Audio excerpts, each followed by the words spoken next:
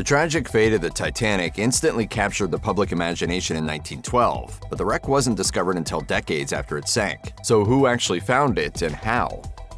The RMS Titanic struck an iceberg in the North Atlantic around 11:30 p.m. on April 14, 1912. The evacuation process was slow and poorly organized, meaning that many were left behind when the ship finally sank around 2:20 a.m. on April 15. Over 1,500 people died that night out of an estimated 2,240 people on board. Given all of the eyewitnesses, as well as the eventual presence of rescue ships, you'd think that it would be easy for investigators to find the wreckage, but it wasn't quite so simple. The Titanic kept drifting after transmitting its last known location, leaving investigators with a large search area that covered hundreds of miles. Finding a single ocean liner on the seafloor about 12,600 feet below the surface is no easy task, and anyone trying to recover the Titanic would have to put in some serious time, effort, and willpower to find her.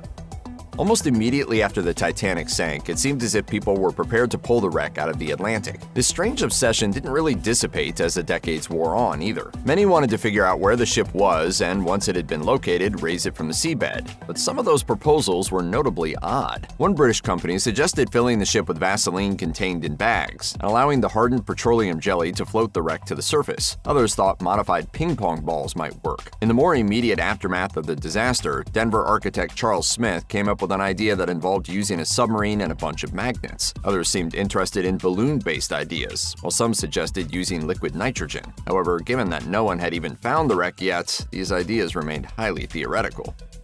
The Titanic went undiscovered for many decades after its sinking. Ultimately, professor and oceanographer Bob Ballard was the one who, along with his team, finally located the wreck in 1985. But he didn't find it on his first go. In fact, Ballard had already attempted to find the wreck in the 70s and came up with nothing. Still, if anyone was going to find the Titanic, it would likely have been someone like Ballard. I boldly go where no one has gone before on planet Earth.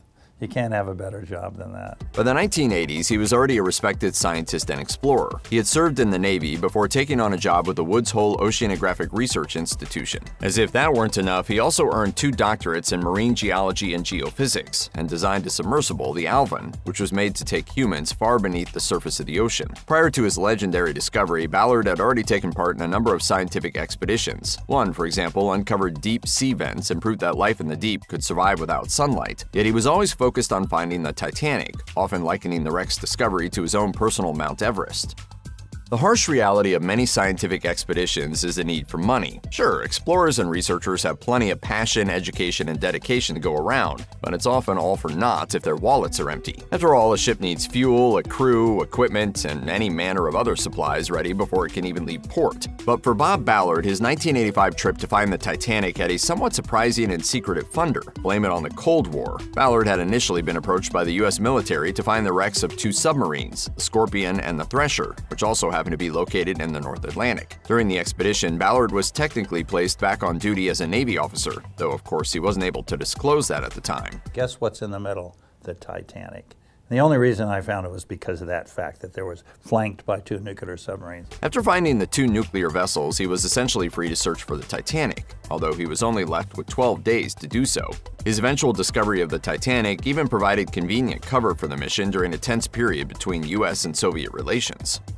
Nobody could have found a single shipwreck in the frigid waters of the North Atlantic without some assistance from technology. The group began its search with sonar. A system built by Jean-Louis Michel of the French National Institute of Oceanography was deployed to mow the lawn, meaning that the ship was tasked with making its way across the search area in regular strips, towing side-scan sonar equipment in order to get a glimpse of the ocean floor. After 31 days, they still hadn't found the Titanic, but had managed to eliminate a whopping 75% of the search area. Ballard's team then deployed an unmanned submersible with a camera known as the Argo. The group's theory relied on eyewitness accounts from the night of the sinking, which claimed the ship had broken in half as it went under. If the Titanic had indeed broken into two pieces, it would have left a considerable swath of bits and pieces scattered across the seafloor. Ballard believed that searching for the debris field would prove easier than searching for the ship itself, and it worked. After days of searching, Ballard's team found one of the Titanic's distinctive boilers lying on the seabed. The crew initially celebrated this momentous find, but then paused when they realized that it was nearly 2.20 in the morning, the same time at which the Titanic had sunk beneath the waves on April 15, 1912. Eventually, Ballard and his team also found some of the ship's hull plates. More and more detritus came into view over time, including dinnerware and furniture. Using the Argo to follow the trail of debris across the ocean floor, they eventually came across the bow of the long-lost Titanic. Eyewitness reports suggested that the Titanic had split in two during the sinking, but this wasn't necessarily a consensus opinion. A minority of survivors, including officers of the Titanic's White Star Line, claimed that the ship had sunk intact. However, it's possible that they were biased, since it wouldn't do the White Star Line much good to suggest that any of their other ships could have broken in half too. Many more testimonies failed to specify exactly in what shape the Titanic had been when it finally sank beneath the water. Frank Prentice, one survivor, remembered and all of a sudden she lifted up quickly, and you could hear everything crashing through her. Everything that was movable was going through her. Given the confusing evacuation, the dark night on which it had sunk, and the trauma felt by survivors of the disaster, it's no wonder that the details became confused. The two-piece theory was finally proven by Ballard's team, as the bow and stern were clearly separated by over 1,000 feet. But how did such a large ship break into two pieces that night in 1912? Well, it's all about physics. As the bow took on water, the stern began to lift, putting pressure on the ship. The pressure on the ship's riveted hull sections eventually caused the liner to break apart into two large sections.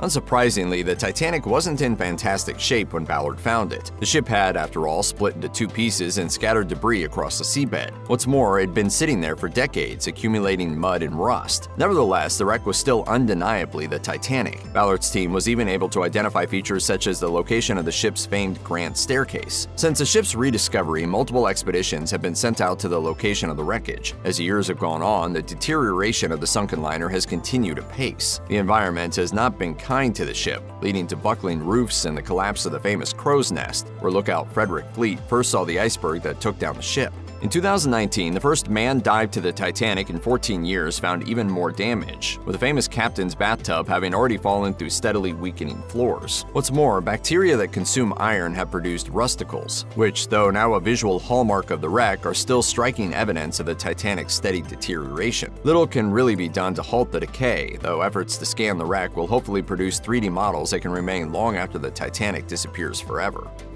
Though some prefer to call it salvage, Bob Ballard has stronger words for the idea that people might snatch up bits and pieces of the Titanic looting. Given that the wreck is the final resting place of an estimated 1,500 people, many have also concluded that salvage operations amount to little more than grave robbing. Ballard has certainly spoken of the site with the sort of reverence reserved for grave sites, once saying, It is a quiet and peaceful place, and a fitting place for the remains of this greatest of sea tragedies to rest. Forever may it remain that way. And we're just now beginning to discover the pyramids of the deep, and, and I just hope that we go through that door of technology to appreciate and not to plunder. Ballard says that he certainly understands the fascination that so many people have with the Titanic. The dream of finding and documenting the wreck is one that's been following him since he was young, after all. But in his words, it's being loved to death by visitors more than Mother Nature is attacking it. It's true that salvagers have been slowly picking apart the wreck. Some have obtained legitimate licenses to do so, while others have worked illegally. And it's very possible that while some artifacts may have fallen deeper into the wreck as the ship deteriorates, other pieces of the Titanic's history have been plucked up by those salvagers, meaning they're now sitting in somebody's private collection.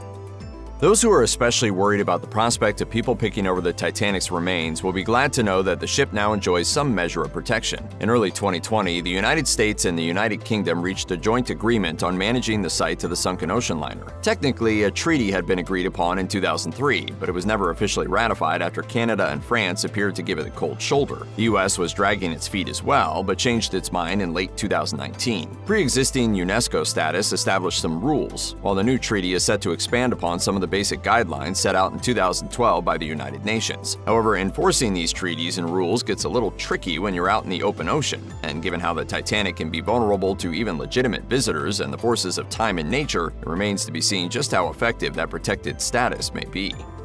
What do you do after you accomplish one of your greatest dreams? You accomplish more. Indeed, Bob Ballard never stopped exploring, though he acknowledges that he'll probably always be remembered as one of the co-discoverers of the Titanic wreck. He believes that that is no excuse to rest on one's laurels. Not that having such a reputation is necessarily a bad thing, of course. As Ballard once told CNN, in many ways, it has sort of freed me up to dream other dreams, so I feel emancipated in many ways. In the years since his achievement, Ballard estimates that he's found about 100 shipwrecks in total. In 2019, he even put in one of the more extensive efforts to find evidence of Amelia Earhart's fate. Earhart, a renowned aviator, disappeared during a round-the-world flight attempt in 1937. Some believe that she may have survived a plane crash and made it to Nikumaroro Atoll. Ballard and his team weren't able to find evidence of her plane around the atoll, but it was an illuminating expedition nonetheless, using advanced sonar technology to scour the nearby ocean floor. And as Ballard reminded everyone on his team, it's worth remembering that he had missed the Titanic by a mere 500 feet in one of his earliest expeditions.